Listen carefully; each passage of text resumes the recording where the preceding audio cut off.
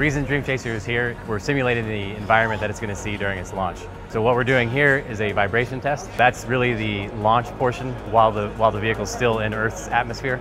That's where the highest vibration levels come from, from the launch of the rocket itself. We're also doing um, separation shock tests. So when the two vehicles separate from each other, there's an event, uh, a shock event, and so that's what separates the Dream Chaser from the cargo module. We did that test previously.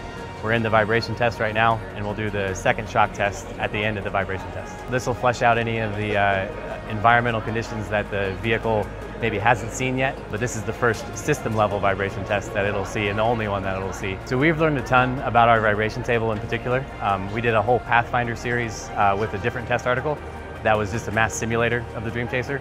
We're now much more confident in our ability to perform these types of tests. By doing all those Pathfinders and learning all the things that we did about our system, we are much more confident now that, we've been, that we're going to be able to get through all of this.